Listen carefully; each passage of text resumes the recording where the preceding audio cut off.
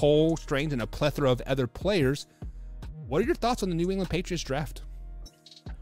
Well, overall, the AFC West I thought was really kind of almost high and high and low. Let me get to my notes here for the Patriots. Um, I really kind of thought it was high and low, and I think this was definitely one of the lows. Cole Strange was was a strange pick, that's for sure. But what I will say, the only thing I, w- I will say for Patriots fans is Bill Belichick always does weird things. I've got a friend, his name is Ryan Coolidge. He's from Maine, and he was over here for the draft, and we were all talking, and he was like, "Man, I hope." I hope we do something cool with our first rounder. And I'm like, Ryan, you guys are totally going to trade down. You guys used all of your crazy first round points last year. Bill Belichick spent every piece of first round, you know, drafting he's ever used in his entire life. He spent it all last year. You're not getting anything cool in this first round. I was like, you guys are going to end up trading out of the first round and getting nothing, or you're going to trade down to a later pick in the first round and get somebody that everybody's going to be like, what? And he's like, yeah, probably.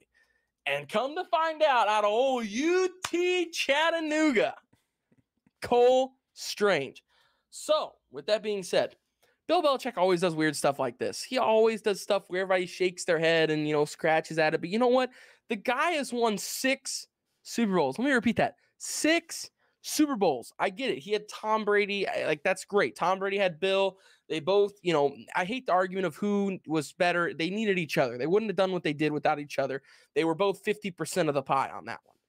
So he's he's got six Super Bowls. He knows what he's doing. Would I have taken Cole Strange there? No, I probably would not have, and I don't think that was that great of a pick. It was a head scratcher like normal, but like I said, it's a Bill Belichick pick. That's exactly what that is. That's a Patriots draft pick. That's what they do every year. This is just another an, another stepping stone to what they're looking to move forward with.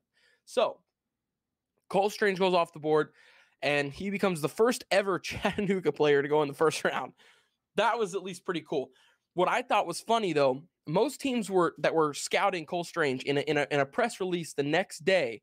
Um, I'm uh, Sean Sean McVay. I forgot his name for a second. Sean McVay was talking, and he was like, "Cole Strange off the board, huh?" He was like, I know we were looking at him at like 104.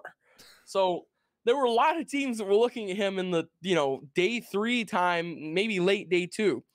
So as for that, I it was like I said, it was a little bit of a head scratcher, but like it's just it's a it's a Bill Belichick pick. Next, we look on to the second round. This is this is really one of like three picks that they made that I liked. Tyquan Thornton, a speedster. I mean, the guy ran a unofficial 4-2 something, 4-2-1, I think, at the combine this year. It ended up not being the record. They brought it back and he ran like a it was a 4-2-8. Just just under 4-3. So still lightning fast. I mean, still moving. So Tyquan Thornton out of Baylor, that's an absolute speedster, and I think Mac Jones is really going to love throwing the ball to him. I think there's a lot of potential with Tyquan. I, I really thought that there were a lot of teams that could take him in the second round that could really turn out to to be to be a good fit for him, and I think this is one of those teams. So. With that being said, I like the second round pick. Marcus Jones in the third round, not a bad pick. Solid corner there. You go with another corner in the fourth at 121 with Jack Jones. Pierre Strong, I like Pierre Strong, running back out of South Dakota State, add some versatility to the offense. Now, the big one that I did like that a lot of people kind of shook their head at too was Bailey Zappe, quarterback out of Western Kentucky. Bailey Zappe is, go watch the tape. I, I don't even need to tell you. Go to YouTube right now, look up after the show, just get on your little YouTube search bar and just look up Bailey Zappe Western Kentucky highlights, and it'll all make sense every bit of this whole th- situation will make sense. Bailey Zappe is a baller. He's a guy who is just a great leader. He's great passing the ball. He can run the ball. He's great in the play action. I mean, he he surveys the pocket really well. So I mean, all around, Bailey Zappe is is was very impressive to me. And I thought he was a guy who was in the fourth round that could end up having a job fall to him like Dak Prescott did and end up, you know, being a starter somewhere. I doubt that happens in New England because Mac Jones played so well last year. And on top of that, they picked him with the first round. I mean, you're not going to replace the first round quarterback with the fourth rounder unless if unless if Mac Jones really does that bad this year, which I, I don't think that happens. So now going down here, Kevin Harris out of South Carolina. I liked the first running back pick in the fourth. I was a I, I was a fan of that. I liked it. Pierre Strong's a good running back. Kevin Harris is a good running back out of South Carolina.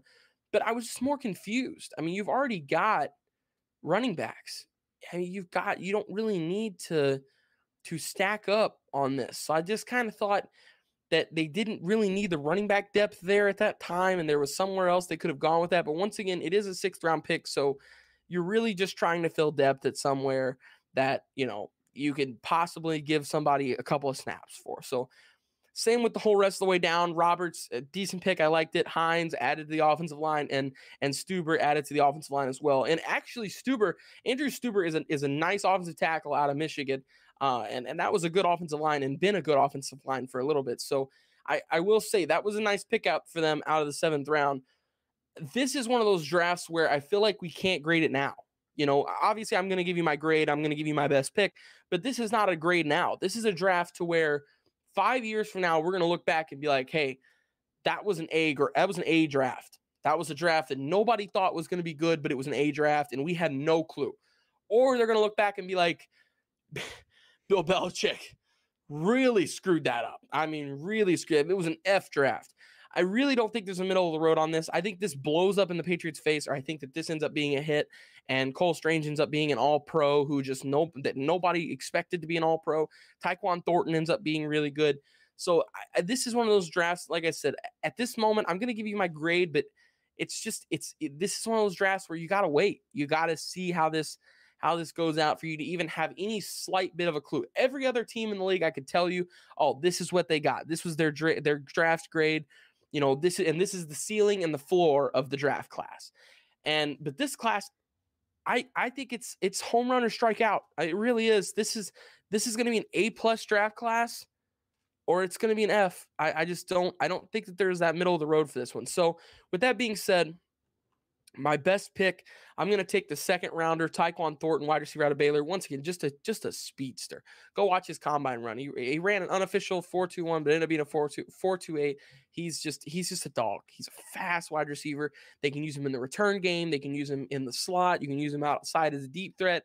I mean, really, you can. He's just a plug and play guy on the offense. So really excited to see what what Bill Belichick comes up with creatively for Tyquan Thornton. Now, as for their draft, I have seen everything uh, on online about how this draft was a C or below. I really don't think I've seen, unless it was some, you know, New England sports, you know, Homer company or something like that, right? Th- then they probably were like, "Oh man, Billy's figured it out. It's an A."